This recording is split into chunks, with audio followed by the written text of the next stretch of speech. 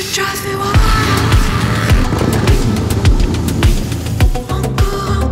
here first again. I don't think so. Why don't we settle this argument like adults then? In the bedroom? Naked?